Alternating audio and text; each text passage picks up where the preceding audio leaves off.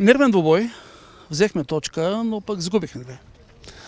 Ами, мисля, че закономерно матчът завърши наравно. Наистина имаше доста нерви, от първото по време особено. Така имахме доста ситуации, които не успяхме да отбележим. Трябва така да, нали, също да кажем, че отбора на Спартак и те имаха в определени ситуации така, възможност да отбележат, но пропуснаха. Един път гредата ни спаси. Радвам се, че нашите млади момчета така показаха едно голямо желание за, така, за победа и през целия матч я търсихме, въпреки че срещнахме един от лидерите в групата с много сериозен бюджет и така с амбиции най-вече за, за влизане в професионалния футбол, докато ние сме отбор, който ти първа така израства и се гради. Радвам се, че премерихме сили и показахме, че така всички отбори трябва да се образяват с нас. Надявам се и да държим това ниво и да продължаваме да растем и да показваме все по-добри игри. И ако може такива добри отбори да ги побеждаваме на Светополис, ще бъде радостно. Де факто два мача без допуснат гол, два мача и полувреме. Така суха, суха мрежа.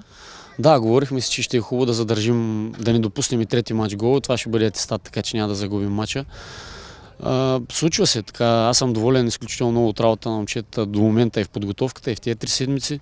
Стараят се, показват вече, че започва да има синхрон и най-вече за тия млади момчета, които в такива двубои трябва да изличат максимума от ситуации и като нерви, и като игрова обстановка. мисля, че точно от такива мачове имат нужда с така и публика, с подкрепа. Това е футбол в крайна сметка, така да изпитат удоволствие не само от, от играта с топката, ами и от играта без топка. Де факто, доста млади момчета, после накрая излезе его, за съжаление. Какво е състоянието Ами да, получи някакъв проблем, така все още не е ясно. Надяваме се да не е нещо разтежение или нещо друго. Хубавото е, че тук е момента да споделя, че следващия матч с Ямбол за първенство ще бъде отложен. А, сряда, който е матча за купата с отбора на Овошник, ще се играе в, а, мисля, че там, в 18 часа.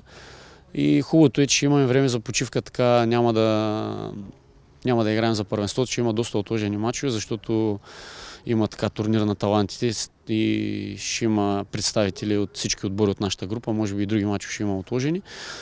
Трябва да споделя така, тук е момента да кажа, че Димитър Димитров ще бъде извикан там и се надявам да, така, да покаже едно добро лице и някой отбор от професионалния футбол, ако хареса, за нас ще бъде изключително щастие, защото показа едно голямо израстване в тия години, в които му се дава шанс и се надяваме да прескочи там тази бариера на аматьорския футбол и да го гледаме по телевизията, както Петър Маринов.